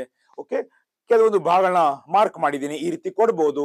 ಎಲ್ಲಿ ದೋಷವಿದೆ ಅಂತ ಹೇಳೋಕ್ಕಿಂತ ಮುಂಚೆ ಮೈ ಡಿಯರ್ ಫ್ರೆಂಡ್ಸ್ ಕೆಲವೊಂದು ಫಿಕ್ಸ್ಡ್ ಓಕೆ ಕೆಲವೊಂದು ನಿಯಮಿತವಾಗಿರುವ ಕಂಜಂಕ್ಷನ್ಗಳನ್ನ ನೋಡ್ಕೊಂಡು ಬರೋಣ ಬನ್ನಿ. ಯಾವ್ಯಾವು ಕೆಲವೊಂದು ಓಕೆ ಇದು ಪಾರ್ಷಿಯಲ್ ಲಿಸ್ಟ್ ಆಫ್ ಕಂಜಂಕ್ಷನ್ಸ್ ಸಮುಚ್ಚಯಗಳ ಭಾಗಶಃ ಪಟ್ಟಿ. ಇವ್ ನೆನಪಿಟ್ಬಿಟ್ರೆ ಇದರಲ್ಲಿನೇ ಕೆಲವೊಂದು ಸ್ಪೆಲ್ಲಿಂಗ್ ದೋಷ ಕೊಟ್ಬಿಡ್ತಾರೆ. ಈಸಿಯಾಗಿ ನಾವು ಕಂಡುಹಿಡಿಬಹುದು number one as soon as okay ಅದಾದ್ಮೇಲೆ ನೋ ಸೂನರ್ ದ್ಯಾನ್ ನೋಡ್ಕೊಳ್ಳಿ, ಇದರ ಕಂಜಂಕ್ಷನ್ ಹೆಸರು no sooner than spelling T H A N ಇವು fixed conjunctions no as soon as ಮುಂದಿನ ತರಗತಿಗಳಲ್ಲಿ ಇವುಗಳ ಆಧಾರಿತವಾಗಿ ವಾಕ್ಯಗಳನ್ನ ಮಾಡುವಂಥದ್ದು ಅಭ್ಯಾಸ ಮಾಡೋಣ. ಎಲ್ಲ ಒಮ್ಮೆ ಆದರೆ ಬಹಳ ಸಂಕೀರ್ಣ ಆಗುತ್ತೆ, ಗಜಿಬಿಜಿ ಆಗುತ್ತೆ. ನಿಧಾನವಾಗಿ ಒಂದೊಂದಕ್ಕೆ ಉದಾಹರಣೆಗಳ ಮುಂದಿನ ಕ್ಲಾಸ್ಗಳಲ್ಲಿ ಕಲಿತಾ ಹೋಗೋಣ. ಈ ಸದ್ಯದ ಮಟ್ಟಿಗೆ ಇವುಗಳು ನೆನಪಿಡಿ ಓಕೆ ಆಸ್ ಸೂನ್ ಆಸ್ ತಕ್ಷಣ no sooner than next hardly or scarcely when ಇವು ಜೋಡಿ ಪದಗಳು ಕಂಜಂಕ್ಷನ್ಗಳು ಕಾಯಂ ಆಗಿ ಯೂಸ್ ಮಾಡುವಂಥದ್ದು fixed conjunctions not only but also lest should although yet while either or neither nor ನೆನಪಿಟ್ಕೊಳ್ಳಿ. As soon as number one no sooner dash than then ಅಲ್ಲ than ಇಲ್ಲಿ spelling ನೆನಪಿಟ್ಕೊಳ್ಳಿ. T H A N hardly or scarcely ಅಂತೂ ಹೇಳ್ಬೋದು. When not only but also lest should yet yet while, either or, neither nor. ಇವೆಲ್ಲ ಬಗ್ಗೆ ವಿವರಣೆ ಮುಂದಿನ ಕ್ಲಾಸ್ಗಳಲ್ಲಿ ಅವಶ್ಯವಾಗಿ ಉದಾಹರಣೆ ಸಹಿತ ಕೊಡ್ತೀನಿ ಸ್ನೇಹಿತರೆ. ಸದ್ಯದ ಮಟ್ಟಿಗೆ ಇವಿಷ್ಟು ಇದಾವೆ. ಕೆಲವೊಂದು ಫಿಕ್ಸ್ಡ್ ಇದಾವೆ ಅಂತ ತಿಳ್ಕೊಳ್ಳಿ. ಸೊ ನಿಮ್ಗೆ ನಾ ಹೇಳ್ದಂಗೆ ನೋ ಸೂನರ್ ಸ್ಪೆಲಿಂಗ್ ನೋಡಿ T H A N okay so ಇದನ್ನ ನೋಡಿದಾಗ now you will come to know immediately ಹೇಳ್ತೀರಾ? ಓಕೆ ಸೊ ದೆನ್ ಇದನ್ನ ಬರೀಬಾರ್ದು. What should be written so it is T H A N not T H E N ಏನ್ ಹೇಳಿ? T H A N not T H E N so ಇಲ್ಲೇನೇ mistake ಇದೆ okay so here it is a mistake ನೋಡಿ, ಎಷ್ಟು ಸಣ್ಣ mistake ಇದೆ okay no sooner did the teacher enter the class ಇಲ್ಲಿ then ಬರಿ ಬದಲು, ಏನ್ ಬರಿಬೇಕು ಸ್ನೇಹಿತರೆ? ದ್ಯಾನ್ ಓಕೆ ಇಲ್ಲಿ grammar ದೋಷವಿದೆ. Than the students stood up did ಮತ್ತು ಸ್ಟುಡ್ ಅಪ್ ಇರೋದ್ರಿಂದ it is purely in past tense okay this is a example of this conjunction based grammatical my uncle has two son in laws ಇದು ಸಹಿತ ಏಕವಚನ, ಬಹುವಚನ ಮೇಲೆ ಆಧಾರವಾಗಿರೋದು ಆಧಾರವಾಗಿರೋದು. ಇಂಥ ಸಂದರ್ಭಗಳಲ್ಲಿ ಮಾಡಿರೋ ಫ್ರೆಂಡ್ಸ್ ಸನ್ ಇನ್ ಲಾ ಅಂದ್ರೆ ಓಕೆ ಈ ಮೂಲಕ ರಿಲೇಶನ್ಶಿಪ್ ಅನ್ನು ಸಹಿತ ನಾವು ಬೆಳಕು ಪಟ್ಟಿ ಮಾಡಿಡ್ಬೋದು ಸನ್ ಇನ್ ಲಾಸ್ ಬರಲ್ಲ ಆಕ್ಚುಲಿ ಏನ್ ಗೊತ್ತಾ? Son sons daughter daughters son in law ಅಳಿಯ ಅಂತ ಹೇಳ್ತೀವಿ. ಓಕೆ ಇಲ್ಲಿ ಏಕವಚನ, ಬಹುವಚನ ಲೀಸ್ಟ್ ಮಾಡಿ ಇಟ್ಕೊಳ್ಳಿ. ನಾ ಈಗಾಗ ಹೇಳ್ದಂಗೆ boy boys friend friends officer officers people man ಅದಾದ್ಮೇಲೆ ಚೈಲ್ಡ್ ಚಿಲ್ಡ್ರನ್ ಹಿಂಗಿದ್ದಾಗ ಈ ಇಂತಹ ಸನ್ನಿವೇಶಗಳಲ್ಲಿ, ಓಕೆ, ಇದು ಸನ್ ಇನ್ ಲಾಸ್ ಎಸ್ ಕೊನೆಗೆ ಬರೋದಿಲ್ಲ. ಇದರ ಬಹುವಚನ ಏನಾಗತ್ತೆ ಅಂದ್ರೆ, ಸನ್ಸ್ ಇನ್ ಲಾ ಆಗತ್ತೆ. ಇವು ಫಿಕ್ಸ್ ಇರ್ತಾವೆ. ಹಿಂಗಾಗಿ ಇವನ್ನ ಅರ್ಥ ಮಾಡ್ಕೋಬೇಕು. ಸೊ ಅಳಿಯಂದರು ಓಕೆ, ನನ್ನ ಅಂಕಲ್ ಅಥವಾ ಚಿಕ್ಕಪ್ಪ ಅಥವಾ ದೊಡ್ಡಪ್ಪ, ಕಾಕಾ ವಾಟ್ ಮಾಮ ವಾಟ್ ಎವರ್ ಇಟ್ ಈಸ್ ಅವರು ಇಬ್ಬರು ಅಳಿಯಂದರನ್ನ ಹೊಂದಿದ್ದಾರೆ. ಓಕೆ, ಅಂತ ಹೇಳ್ಬೇಕಾದ್ರೆ, ಸನ್ಸ್ ಇನ್ ಲಾ, ಇಲ್ಲೇ ಬರಬೇಕು, ಇಲ್ಲೇ ಬರ್ಕೂಡ್ದು. So this is where it is it has a mistake okay son in laws ಬರಲ್ಲ ಸನ್ಸ್ ಇನ್ ಲಾ ಬರುತ್ತೆ okay sons in law daughters in law etcetera brothers in law sisters in law ಅತ್ತಿಗೆ ನಾದಿನಿ ಷಡಕ ನೋಡಿ ಈ ಮೂಲಕ again I am giving you one homework what is that make a list of make a list of relatives and relationships. Relatives and relationships with meaning and singular plurals. Okay ಅರ್ಥನೂ ಇರಬೇಕು, ಏಕವಚನ, ಬಹುವಚನ ಇರಬೇಕು. ಓಕೆ ಸೊ ಸೋದರ ಅಳಿಯಗೆ nephew ಅಂತ ಹೇಳ್ತೀವಿ, ಸೋದರ ಸೊಸೆಗೆ knees ಅಂತ ಹೇಳ್ತೀವಿ. ಓಕೆ ಸೋದರ ಮಾವಗೆ ಮಟರ್ನಲ್ ಅಂಕಲ್ ಅಂತ ಹೇಳ್ತೀವಿ. ಆ, ಚಿಕ್ಕಪ್ಪನ ಮಗ, ದೊಡ್ಡಪ್ಪನ ಮಗ ಈ ರೀತಿ ಇದ್ದಾಗ ಕಸಿನ್ ಇಂಗ್ಲಿಷ್ ಅಲ್ಲಿ ಯೂಸ್ ಮಾಡಿದ್ರೆ ದಾಯಾದಿ ಅಂತ ಹೇಳ್ತೀವಿ. ನೋಡಿ ಇವನ್ನೆಲ್ಲ ರಿಲೇಷನ್ ಇಟ್ಕೊಂಡ್ರೆ ಮುಂದೆ ಬೇರೆ ತರದ ಪ್ರಶ್ನೆಗಳು ಕೇಳಿದಾಗೂ ಸಹಿತ ನೀವು ಉತ್ತರ ಕೊಡಬಹುದು ಸೊ ಇಲ್ಲಿ ಮಿಸ್ಟೇಕ್ ಎಲ್ಲಿದೆ ಸ್ನೇಹಿತರೆ? ಸನ್ ಇನ್ ಲಾ ಆಗ್ಬೇಕು. ಸನ್ ಇನ್ ಲಾಸ್ ಅಲ್ಲ. Okay this is what it is next move on to the next example my dear friends neither the headmaster nor the assistant masters was present ಇಲ್ಲಿ ಯಾವ conjunction use ಮಾಡಿದ್ದಾರೆ? Neither nor ಒಂದು ನಿಯಮ when two subjects are used with neither nor verb should agree with the second subject ಎರಡು ಕರ್ತುಪದಗಳನ್ನು ತಗೊಂಡಾಗ ಕ್ರಿಯಾಪದ okay ಕ್ರಿಯಾಪದ, ಕೊನೆಯ ಕರ್ತುಪದವಿನ ಜೊತೆ ಅದು ಹೊಂದಬೇಕು. ಸೊ ಅಸಿಸ್ಟೆಂಟ್ ಮಾಸ್ಟರ್ಸ್ ಅಂತ ಇದೆ, ಬಹುವಚನ. ಬಹುವಚನ ಇದ್ದಾಗ ದೇ. ನೋಡಿ, ನಾ ಈಗ S P P F table of be ಹೇಳಿದ್ದೆ. What was it I repeat they are present tense they were past tense they will be future tense ಅವರು ಇದ್ದಾರೆ ಅಂದ್ರೆ ಇರುತ್ತಾರೆ, ಇದ್ದರು, ಇರುವರು ಇರುವರು. ಸೊ ದೇ ಮುಂದೆ. ಪಾಸ್ಟೆನ್ಸ್ ಅಲ್ಲಿ ಏನ್ ಬರಬೇಕು ಸ್ನೇಹಿತರೆ? ವೇರ್ ಸೊ ಅಸಿಸ್ಟೆಂಟ್ ಮಾಸ್ಟರ್ಸ್ ಅಂದ್ರೆ ಒಂದಕ್ಕಿಂತ ಜಾಸ್ತಿ ದೇ ಅವರು. ಸೊ ವಾಸ್ ಅವ್ರು ಪಾಸ್ಟರ್ಸ್ ಕೊಟ್ಟಿದ್ದಾರೆ. ಹಿಂಗಾಗಿ ವಾಸ್ ಬದಲು ಏನ್ ಬರಬೇಕು? ವೇರ್ ಬರಬೇಕು? Were this is where it has a grammar problem okay it's grammatically wrong there okay ನೋಡಿ, ಇವೆಲ್ಲದಕ್ಕೂ ಮತ್ತೆ ನಾ ಈಗ ತಾನೇ ಕೆಲವು ನಿಮಿಷಗಳ ಹಿಂದೆ ಹೇಳಿದಂತ S P P F table of be is very very important ಅದನ್ನ ಪರ್ಮನೆಂಟ್ ಆಗಿ ಇಟ್ಕೊಂಡ್ಬಿಡಿ. Okay so that you will have all this plus four types of present tense four types of past tense four types of future ಟೆನ್ಸಿನ ನಿಯಮಗಳು. Okay yes were was ಬದಲು ಏನಾಗಬೇಕು? Were ಆಗಬೇಕು? Neither the headmaster nor the assistant masters were present okay ಅಂದ್ರೆ ಮುಖ್ಯ ಶಿಕ್ಷಕ ಅಥವಾ ಸಹಾಯಕ ಶಿಕ್ಷಕರು ಅಲ್ಲಿ ಇದ್ದಿದ್ದಿಲ್ಲ ಅಂತ ಅರ್ಥ. ಇದು ಭಾಷಾಂತರ ಆಗತ್ತೆ. Next the earth move round the sun okay S move ಇರೋದ್ರಿಂದ ಆಕ್ಷನ್ ಇರೋದ್ರಿಂದ ಓಕೆ ಅರ್ತ್ ಇಟ್ಟಲ್ಲಿ ಬರೋದ್ರಿಂದ. ಅರ್ತ್ ಇಟ್ಟಲ್ಲಿ ಬರೋದ್ರಿಂದ ಓಕೆ ಮೂವ, ಒಂದ್ ತಿಳ್ಕೊಂಬಿಡಿ ಹಿ ಶಿ ಇಟ್ ಮುಂದೆ ವರ್ಬ್ ಒಂದೇ ನಿಲ್ಲೋದಿಲ್ಲ. ಸಿಂಪಲ್ ಪ್ರೆಸೆಂಟ್ ಟೆನ್ಸ್ ಅಲ್ಲಿ ಆ you they we verb does not change he she it ಇದ್ದಾಗ ವರ್ಬ್ ಮುಂದೆ ಓಕೆ ಎಸ್ ಆದ್ರೂ ಇರಬೇಕು ಇ ಎಸ್ ಆದ್ರೂ ಇರಬೇಕು ಆ ಎಸ್ ಆದ್ರೂ ಇರಬೇಕು. ಸೊ ದ ಅರ್ತ್ ಮೂವ್ ಆಗಲ್ಲ. ವಾಟ್ ಇಟ್ ಈಸ್ ನಿಮ್ಗೆ ಈಗಲೇ ಗೊತ್ತಾಗ್ಬಿಡುತ್ತೆ. ಯಾವ್ದಕ್ಕೂ ಅವ್ರು ಹೆಂಗ್ ಕೊಡ್ಬೋದು? The earth move round earth A B C D ಯಾವ ಭಾಗದಲ್ಲಿ ದೋಷವಿದೆ?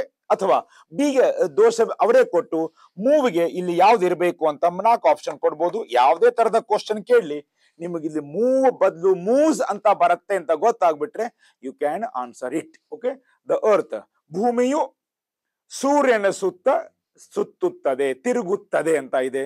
ಸೊ ಸಿಂಪಲ್ ಪ್ರೆಸೆಂಟ್ ಟೆನ್ಸ್ ಇದು ಒಂದು ಜಾಗತಿಕ ಸತ್ಯ. ಓಕೆ ಸಿಂಪಲ್ ಪ್ರೆಸೆಂಟ್ ಟೆನ್ಸ್ ಅನ್ನ, ಸಾಮಾನ್ಯ ವರ್ತಮಾನ ಕಾಲವನ್ನ ಯಾವ ಯಾವ ಸನ್ನಿವೇಶಗಳಲ್ಲಿ ಬಳಕೆ ಮಾಡ್ತೀವಿ? ಪ್ರಸ್ತುತ, ಪ್ರಚಲಿತ, ದಿನನಿತ್ಯದ ಘಟನೆಗಳನ್ನ ಹೇಳಲು ನಂಬರ್ ಒನ್ ಜಾಗತಿಕ ಸತ್ಯಗಳನ್ನು ಹೇಳಲು ನಂಬರ್ ಟು ಹವ್ಯಾಸಗಳನ್ನು ಹೇಳಲು ನಂಬರ್ ತ್ರೀ ಇದು ಒಂದು ನಾವು ಅರ್ಥ ಮಾಡ್ಕೊಂಡಿವಿ. And grammar rule Ayu Devi pronoun use ಮಾಡಿದಾಗ, ಸರ್ವನಾಮ ಯೂಸ್ ಮಾಡಿದಾಗ verb does not change move move ಆಗೇ ಉಳಿಯುತ್ತೆ. ಆರ್ಗನೈಸ್ ಆರ್ಗನೈಸ್ಗೆ ಉಳಿಯುತ್ತೆ. ಸಿಟ್ ಸಿಟ್ಟಾಗೆ ಉಳಿಯುತ್ತೆ ಎಟ್ಸೆಟ್ರಾ ಹಿ ಶಿ ಇಟ್ ಇದ್ದಾಗ ಸಿಂಪಲ್ ಪ್ರೆಸೆಂಟೆನ್ಸ್ ಅಲ್ಲಿ ವರ್ಬ್ ಮುಂದೆ ಎಸ್ ಆದ್ರೂ ಬರಬೇಕು ಇ ಎಸ್ ಆದ್ರೂ ಬರಬೇಕು ಐ ಎಸ್ ಆದ್ರೂ ಇರಬೇಕು. ಒಂದ್ ತಿಳ್ಕೊಂಬಿಡಿ, ಸಾರ್ವತ್ರಿಕ ನಿಯಮ ಹಿ ಶಿ ಇಟ್ಗಳ ಮುಂದೆ ವರ್ಬ್ ಒಂದೇ ನಿಲ್ಲೋದಿಲ್ಲ. ವರ್ಬ್ ಜೊತೆ ಎಸ್ ಆದ್ರೂ ಬೇಕು ಇ ಎಸ್ ಆದ್ರೂ ಬೇಕು ಐ ಎಸ್ ಆದ್ರೂ ಬೇಕು. ಈ ಮೂಲಕ ಮತ್ತೊಮ್ಮೆ ನೆನಪು ಮಾಡ್ಕೊಡ್ತಾ ಇದ್ದೀನಿ. ಈಗಾಗಲೇ ಹೇಳಿದ್ದೀನಿ ನೌನ್ಸ್ ಅವಾಗ ವರ್ಬ್ಸ್ ಹೇಳಿದ್ದೆ. Make a list of verbs ending with S E S I S ಕೆಲವೊಂದು ಇಲ್ಲಿ ಮೂವ್ ಮೂವ್ಸ್ ಆಗಿದೆ. ಕೆಲವೊಂದು ಕಡೆ ರೀಚ್ ರೀಚಸ್ ಆಗತ್ತೆ. ಇಲ್ಲಿ ಎಸ್ ಬಂತು, ಇಲ್ಲಿ ಇ ಎಸ್ ಬಂತು. ಕ್ಯಾರಿ ಕ್ಯಾರೀಸ್ ಆಗತ್ತೆ. ಇಲ್ಲಿ ಐಸ್ ಬಂತು. ಇವೆಲ್ಲವೂ ಸಿಂಪಲ್ ಪ್ರೆಸೆಂಟ್ ಬಳಕೆ ಮಾಡ್ತೀವಿ. ನಿಯಮನೂ ಮುಂದಿನ ದಿನಗಳಲ್ಲಿ ಹೇಳ್ಕೊಡ್ತೀನಿ. ಅದಕ್ಕಿಂತ ಮುಂಚಿತವಾಗಿ ನೀವು ನಿಮ್ಮ ಮೊಬೈಲ್ ಅನ್ನ ಡಿಕ್ಷನರಿಯನ್ನ, ಪುಸ್ತಕಗಳನ್ನ ಉಪಯೋಗ ಮಾಡಿಕೊಂಡು list of verbs ending with S, E, S, I, S ಮಾಡಿ ಇಟ್ಕೊಂಬಿಡಿ it will be perfect. So, ಇಲ್ಲಿ ಮಾತ್ರ ಎಸ್ ಬರುತ್ತೆ. So where is the grammar mistake ಮೂ ಬದಲು ಮೂವ್ಸ್ ಆಗಬೇಕು. There here where we have the grammar mistake my dear friends okay so ನೋಡಿ S P P F table of ಬಿನು important S P P F table of ಡೂನು important four types of present past future tense important ಇದೆಲ್ಲ ಸೇರಿದಾಗ ಒಂದು ಆ, ಅನನ್ಯವಾದ okay ವಿಶಿಷ್ಟವಾದ grammar ನಾವು ಕಲಿಬಹುದು ಮೂಲವಾದ grammar ಕಲಿಬಹುದು okay so let's move on to the next example my dear friends this news was telecasted on a national news channel ಇದನ್ನ ನಾವು ಅರ್ಥ ಮಾಡ್ಕೋಬೇಕಾದ್ರೆ ಮೈ ಡಿಯರ್ ಫ್ರೆಂಡ್ಸ್ ಮೂರು ತರಹದ ವರ್ಬ್ಗಳನ್ನ ಸ್ಟಡಿ ಮಾಡೋಣ ವರ್ಬ್ಗಳಲ್ಲೂ ಬೇರೆ ಬೇರೆ, ಅಂದ್ರೆ ಕ್ರಿಯಾ, ಮುಖ್ಯ ಕ್ರಿಯಾಪದಗಳಲ್ಲೂ ಬೇರೆ ಬೇರೆ ವರ್ಗೀಕರಣ ಇದೆ ಕ್ಲಾಸಿಫಿಕೇಶನ್ ಇದೆ. First classification main verb helping verb second classification transitive intransitive verbs ಮೂರನೇ classification regular verbs irregular verbs and peculiar verbs ಅಂತ. ಇದು ಅದರ ಮೇಲೆ ಆಧಾರಿತವಾಗಿರೋದು ಓಕೆ ರೆಗ್ಯುಲರ್ ವರ್ಬ್ ಅಂದ್ರೆ ಏನು my dear friends regular verb ಅಂತಂದ್ರೆ okay verbs and with verbs and with D E D I E D ಅಥವಾ ಒಮ್ಮೊಮ್ಮೆ T for example walk walked ಒಮ್ಮೊಮ್ಮೆ ವಿ ತ್ರೀನು ಸೇಮ್ ಆಗತ್ತೆ ವಾಕ್ಡ್ ಸೊ ಯಾವ ಇಂಗ್ಲಿಷ್ ಕ್ರಿಯಾಪದಗಳು ಡಿ ಇ ಡಿ ಇಂದ ಕೊನೆಗೊಂಡು ವಿ ಟು ಮತ್ತೆ ವಿ ತ್ರೀ ಪಡಿತಾವೆ, ಅದಕ್ಕೆ ರೆಗ್ಯುಲರ್ ವರ್ಬ್ ಅಂತ ಹೇಳ್ತೀವಿ. ಇನ್ನ ಎರಡನೇದು ಮೈ ಡಿಯರ್ ಫ್ರೆಂಡ್ಸ್ ಇರ್ರೆಗ್ಯುಲರ್ ಯಾವ ಇಂಗ್ಲಿಷ್ ಕ್ರಿಯಾಪದಗಳು ಸ್ಪೆಲ್ಲಿಂಗ್ ಕಾಗುಣಿತ ಬದಲಾವಣೆ ಆಗಿ ವಿ ಟು ಮತ್ತೆ ವಿ ತ್ರೀ ಪಡಿತವೆ. ಅವುಗಳಿಗೆ ಇರ್ರೆಗ್ಯುಲರ್ ವರ್ಬ್ ಅಂತ ಹೇಳ್ತೀವಿ. ಫಾರ್ ಎಕ್ಸಾಂಪಲ್ ಸಿಂಗ್ ಇದರ ವಿ ಟು ಸ್ಯಾಂಗ್ ರೈಟ್ ಇದರ V two wrote etcetera direct ಆಗಿ ನಾನು ವಿ ಟು ಬರಿತಾ ಇದ್ದೀನಿ.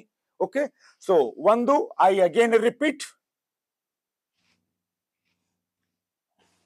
regular verb D E D irregular verb, spelling change. And one more verb, okay, that is, ಇದನ್ನ red ink ಇದನ್ನ ಬರೀತಾ ಇದೀನಿ, ನೋಡ್ಕೊಳ್ಳಿ. ಪಿಕ್ಯೂಲಿಯರ್ ವರ್ಬ್ ಪಿಕ್ಯುಲರ್ ವರ್ಬ್ ಅಲ್ಲಿ ಏನಾಗುತ್ತೆ my dear friends V one V two V three will be the same for example very popular example cut cut cut past and ಅಲ್ಲೂ cut ನಾವು ನಿನ್ನೆ ಒಂದು ಹಣ್ಣನ್ನು ಕತ್ತರಿಸಿದೆ. ಎಸ್ಟರ್ಡೇ ಆಲ್ಸೋ ಐ ಕಟ್ಟೆ ಆಗ್ಬೇಕು. ಬೈ ಮಿಸ್ಟೇಕ್ ಕಟ್ಟಡ್ ಆಗಲ್ಲ. ಓಕೆ ಇದೇ ಪಟ್ಟಿಯಲ್ಲಿ ಇವುಗಳಿಗೆ ಪಿಕ್ಯೂಲಿಯರ್ ಪಿಕ್ಯೂಲಿಯರ್ ಅಂದ್ರೆ ವಿಶೇಷ.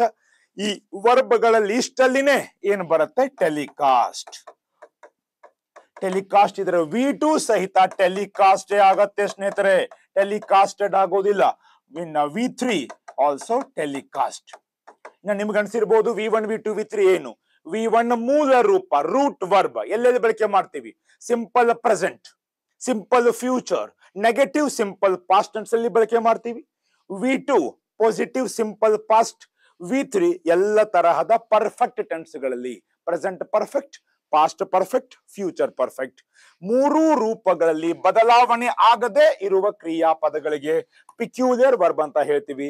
ಅಂಡ್ ನಾವೇನು ಹಿಂದವರು ಎಕ್ಸಾಮ್ ಕೊಟ್ಟಿದ್ದಾರೆ? Example it is purely based on this telecasted ಅವ್ರೇನ್ ಕೊಡ್ಬೋದು? This news this news A was telecasted B on C national news channel D ಯಾವ ಭಾಗದಲ್ಲಿ ದೋಷವಿದೆ? ನೀವು ಹೇಳಬೇಕು ಬಿ ಭಾಗದಲ್ಲಿ ದೋಷವಿದೆ. ಟೆಲಿಕಾಸ್ಟೆಡ್ ಬದಲು ಏನಾಗಬೇಕು ಸ್ನೇಹಿತರೆ? ಟೆಲಿಕಾಸ್ಟ್. ಅರ್ಥ?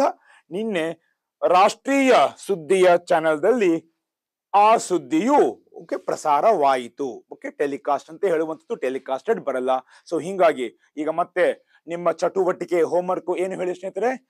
Make a list of regular verbs, irregular verbs, peculiar verb regular irregular ಬಹಳ ಇದಾವೆ. ಪಿಕ್ಯೂಲಿಯರ್ ಓಕೆ ಹಿತಮಿತ ಒಳಗಿದ್ದಾವೆ.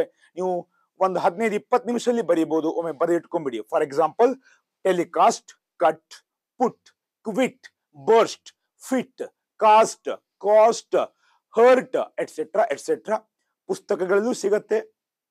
ಮೊಬೈಲ್ಗಳು ಸಿಗುತ್ತೆ. ನಮ್ಮ ಮೊಬೈಲ್ ಅನ್ನ ಇದಕ್ಕೆ ಬಳಕೆ ಮಾಡ್ಕೋಬಹುದು ಡೌಟ್ ಬಂದಾಗ ಡಿಕ್ಷನರಿ ಮತ್ತು ಬುಕ್ಸ್ ಬುಕ್ಸ್ ಬುಕ್ಸ್ ಗಳನ್ನ ನೋಡಿ, ಓದಿ, ಸರಿ ಇದಾವೆಲ್ಲ ಕನ್ಫರ್ಮ್ ಮಾಡ್ಕೊಳ್ಳಿ, okay? So this is about the this sentence this news was telecasted ಬರಲ್ಲ ಟೆಲಿಕಾಸ್ಟ್ ಆಗತ್ತೆ. ಸೊ ಈ ಭಾಗದಲ್ಲಿ ದೋಷವಿದೆ ಅಂತ ನೀವು ಹೇಳ್ಬೋದು. Next my dear friends my mother cut the vegetables and fruits every day ನೋಡಿ ಪಾಸ್ಟ್ ಟೆನ್ಸ್ ನಾನು ಸೇಮ್ ಅಂತ ಹೇಳಿದ್ದೀನಿ ಮೈ ಮದರ್ ಎದರಲ್ಲಿ ಬರ್ತದೆ? ಶಿ ಓಕೆ ಅಗೇನ್ ಏನಂತ ಕೊಡ್ಬೋದು? My mother cut the vegetables and fruits every day ಈ ರೀತಿ ಕೊಡ್ಬೋದು. ಯಾವ ಭಾಗದಲ್ಲಿ? ದೋಷವಿದೆ? ಓಕೆ ಈಗ ಎ ಬಿ ಸಿ ಮತ್ತು ಡಿ ಅಂತ ಕೊಟ್ರೆ ಮೈ ಮದರ್ ಎದರಲ್ಲಿ ಬರ್ತದೆ? ಶೀದಲ್ಲಿ ಬರ್ತದೆ. ಅವರು. ಗೌರವ ಸೂಚಕವಾಗಿ ಅವರು ಅಂದ್ರೂ ಗ್ರಾಮರ್ ವೈಸ್ ಶೀದಲ್ಲಿ ಬರುತ್ತೆ. ಹಿ, ಶಿ ಇಟ್ ಇದ್ದಾಗ ವರ್ಬ ಮುಂದೆ ಏನ್ ಬರಬೇಕು ಸ್ನೇಹಿತರೆ? ಎಸ್ ಅಥವಾ ಇ ಎಸ್ ಅಥವಾ I E S.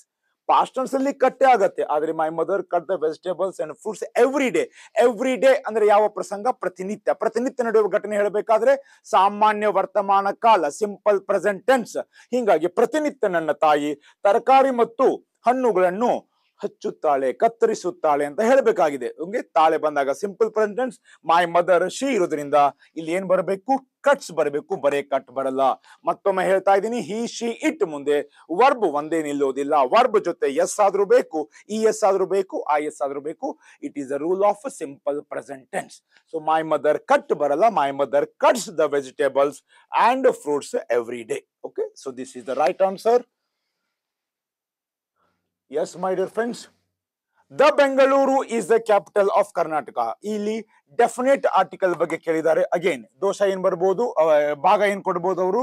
The Bengaluru is the capital of Karnataka ನಾಲ್ಕು ಭಾಗ ಕೊಡ್ಬೋದು. ಓಕೆ ಭಾಗಗಳನ್ನ ಸ್ವಲ್ಪ ಹೆಚ್ಚು ಕಡಿಮೆ ಆಗಿದೆ ನೋ ಪ್ರಾಬ್ಲಮ್ ನೀವು ಮುಖ್ಯವಾಗಿ ಅದರಲ್ಲಿರುವ ಗ್ರಾಮರ್ ದೋಷವನ್ನೇ ಕಂಡು ಹಿಡಿದು ಬಿಡಿ ಉತ್ತರವನ್ನ ಯಾವ ರೀತಿ ಕೊಟ್ಟಿದ್ರು ನಾವು ಅದನ್ನ ಅವಶ್ಯವಾಗಿ ಗುರ್ತು ಹಿಡಿಬಹುದು okay my dear friends A an the ಇವು ಮೂರು ಆರ್ಟಿಕಲ್ಸ್ ಇದಾವೆ. ಎ ಆನಿಗೆ ಇನ್ಡೆಫಿನಿಟ್ ಅನಿರ್ದಿಷ್ಟ ಉಪಪದಗಳು ಅಂತ ಹೇಳ್ತೀವಿ. ದಗೆ ನಿರ್ದಿಷ್ಟ ಉಪಪದಗಳು ಇನ್ನ ಮುಂದಿನ ದಿನಗಳಲ್ಲಿ ದ ವನ್ನ ಯಾವ್ದಾವ್ದಕ್ಕೆ ಬಳಕೆ ಮಾಡಬೇಕು? ಪೂರ್ತಿ ಪಟ್ಟಿಯನ್ನ ಕೊಡ್ತಾ ಇದ್ದೀನಿ. ಇವತ್ತಿನ ಮಟ್ಟಿಗೆ ತಿಳ್ಕೊಳ್ಳಿ. ಓಕೆ ಎಲ್ಲೆಲ್ಲಿ ದ ಸೇರಿಸಬಾರದು ಎಂಬುದಕ್ಕೆ ಓಕೆ ಅಂಕಿತ ನಾಮಗಳು ಪ್ರಾಪರ್ ನೌನ್ಸ್ ಓಕೆ ಬೆಂಗಳೂರು, ಇದು ಒಂದು ನಗರ ಇರುವುದರಿಂದ, ಇದು ಅಂಕಿತ ನಾಮ ಇರೋದ್ರಿಂದ ಬೆಂಗಳೂರಿಗೆ ದ ಸೇರ್ಸಂಗಿಲ್ಲ ಓಕೆ ಸೊ ಕೆಲವೊಂದು ಮಹಾಗ್ರಂಥಗಳಿಗೆ ಸೇರಿಸಬಹುದು ನ್ಯೂಸ್ ಪೇಪರ್ಸ್ಗಳಿಗೆ ಸೇರ್ಬೋದು, ಸಮುದ್ರಗಳಿಗೆ ಸೇರಿಸಬಹುದು ಒಮ್ಮೆ ಉಪಯೋಗ ಮಾಡಿದ ನಾಮಪದವನ್ನ ಇನ್ನೊಮ್ಮೆ ಆ ವಾಕ್ಯದಲ್ಲಿ ಮಾಡಿದಾಗ, ನಾಮಪದವನ್ನ ಅಂಕಿತ ನಾಮ ಬಿಟ್ಟು ಓಕೆ ಅವಾಗ ಬಳಕೆ ಮಾಡಬಹುದು ಈ ದವನ್ನ ಯಾವಾಗ ಯಾವಾಗ ಬಳಕೆ ಮಾಡುವಂಥದ್ದು ಪೂರ್ತಿ ಲಿಸ್ಟ್ ಅನ್ನ ಮುಂದಿನ ನಿಮಗೆ ಅವಶ್ಯವಾಗಿ ಕೊಡ್ತೀನಿ. ಯಾಕಂದ್ರೆ ನೋಡಿ ಇಂಗ್ಲಿಷ್ ಗ್ರಾಮರ್ ವೊಕ್ಯಾಬರಿ ಇದು ಬಹಳ ವಿಶಾಲವಾದ ಕ್ಷೇತ್ರ. ಒಂದು ಮಾಡ್ತಾ ಹೋದ್ರೆ ಅದಕ್ಕೆ ಸಂಬಂಧಪಟ್ಟಂತ ಸೋ ಮೆನಿ ಸಬ್ಜೆಕ್ಟ್ಸ್ ಬರ್ತವೆ. ಅದನ್ನ ಗಡಿಬಿಡಿಲಿ ಹೇಳೋದು ಬೇಡ. We shall do very systematically but ಇವತ್ತು ಒಂದು ನಿಯಮವನ್ನ ನೆನಪಿಟ್ಟುಕೊಳ್ಳಿ ಏನಂದ್ರೆ, ಅಂಕಿತ ನಾಮಗಳ ಜೊತೆ ದ ಸೇರ್ಸಂಗಿಲ್ಲ. ಹಿಂಗಾಗಿ, ದ ಬೆಂಗಳೂರು ಹೇಳಂಗಿಲ್ಲ. Only you should tell Bengaluru. The should not be used so ಈ ಭಾಗದಲ್ಲಿ ಗ್ರಾಮರ್ ದೋಷವಿದೆ. ಬೆಂಗಳೂರು ಈಸ್ ದ ಕ್ಯಾಪಿಟಲ್ ಇಲ್ಲಿ ನಿರ್ದಿಷ್ಟ ಉಪಯೋಗ ಮಾಡಬಹುದು. Of Karnataka but not before the so the ಬೆಂಗಳೂರದಲ್ಲಿ ಎಲ್ಲಿ ದೋಷವಿದೆ? ಇಲ್ಲಿ ದೋಷವಿದೆ ಅಂತ ಹೇಳ್ಬೋದು. Okay so S my dear friends ಮೊದಲ ಹತ್ತು ಉದಾಹರಣೆಗಳನ್ನ ಇವತ್ತು ಮಾಡಿದೀವಿ. ಇನ್ನ ಹತ್ತು ಉದಾಹರಣೆಗಳನ್ನ ಮತ್ತೆ ಮುಂದಿನ ಕ್ಲಾಸಲ್ಲಿ ಮಾಡೋಣ. ಯಾಕಂದ್ರೆ ಬರೀ ಮಾಡ್ತಾ ಹೋಗೋದು ಪಾಠ ಇಂಪಾರ್ಟೆಂಟ್ ಅಲ್ಲ, ಅದು ನಿಮ್ಮ ಮೈಂಡಲ್ಲಿ ಉಳಿಬೇಕು. ಸಾಕಷ್ಟು ರೂಲ್ಗಳನ್ನ ಹೇಳಿದ್ದೀನಿ ಸಣ್ಣ ಸಣ್ಣ ಹೋಮ್ವರ್ಕ್ಗಳನ್ನು ಕೊಟ್ಟಿದ್ದೀನಿ ಓಕೆ ಒಮ್ಮೆ ಲೈವ್ ಸೆಷನ್ ಇಟ್ಕೊಂಡು we can have the quick answer and question sessions in coming days okay ಸಾಕಷ್ಟು ಮಾಡೋದಿದೆ. ನೀವಿಷ್ಟೇ ಅಲ್ಲ ಸ್ನೇಹಿತರೆ, ನಾನು ಬಹಳ ಕಲಿಯುವುದಿದೆ. ನಿತ್ಯ ನಿರಂತರವಾಗಿ ಕಲಿಯುವುದೇ ಜೀವನ, ಓಕೆ? ನಾ ಎಲ್ಲ ಗ್ರಾಮರ್ ಕಲ್ತು ಬಿಟ್ಟಿದ್ದೀನಿ ಅಂತ ಹೇಳ್ತಾ ಇಲ್ಲ, ಓಕೆ? ಕಲ್ತದ್ದನ್ನ ನಾ ತಮಗೆ ಶೇರ್ ಮಾಡ್ಕೋತಾ ಇದ್ದೀನಿ. ನೀವು ಸಹಿತ ಅವಾಗ ಅವಾಗ ಕಲ್ತದ್ದನ್ನ ಅವಾಗ ಅವಾಗನೇ ಪ್ರಾಕ್ಟೀಸ್ ಮಾಡಿ ಪರ್ಫೆಕ್ಟ್ ಆಗಿ, ಓಕೆ? ಸೊ ಮುಂಬರುವ ಎಲ್ಲ ಪರೀಕ್ಷೆಗಳಲ್ಲಿ, ಓಕೆ? ನಿಮ್ಮ ತಯಾರಿ ಜೋರ್ದಾರ್ ಆಗಲಿ, ಓಕೆ? ಅಂತ ಹಾರೈಸುತ್ತಾ ಈ ಅವಕಾಶವನ್ನು ಕೊಟ್ಟಂತಹ ನಮ್ಮ ಸಂಸ್ಥೆ ನಿರ್ದೇಶಕರು ಶ್ರೀ ಲಕ್ಷ್ಮಣ್ ಉಪ್ಪಾರ್ ಸರ್ ಯೂಟ್ಯೂಬಿನ ಎಲ್ಲ ಮ್ಯಾನೇಜ್ಮೆಂಟ್ ಅವರಿಗೂ ಕುಳಿತು ಕೂತ್ ಕೇಳಿದಂತ ನೀವು ನಿಮ್ಮ ಪಾಲಕರಿಗೆ ಥ್ಯಾಂಕ್ಸ್ ಅನ್ನು ಹೇಳಿ. ಮತ್ತೆ ಮುಂದಿನ ಸಂಚಿಕೆಯಲ್ಲಿ ಮುಂದಿನ ಎಕ್ಸಾಂಪಲ್ಗಳಿಗೆ ಬರೋಣ. All the best keep studying keep improving keep watching classic YouTube channel all the best have a great career thank you very much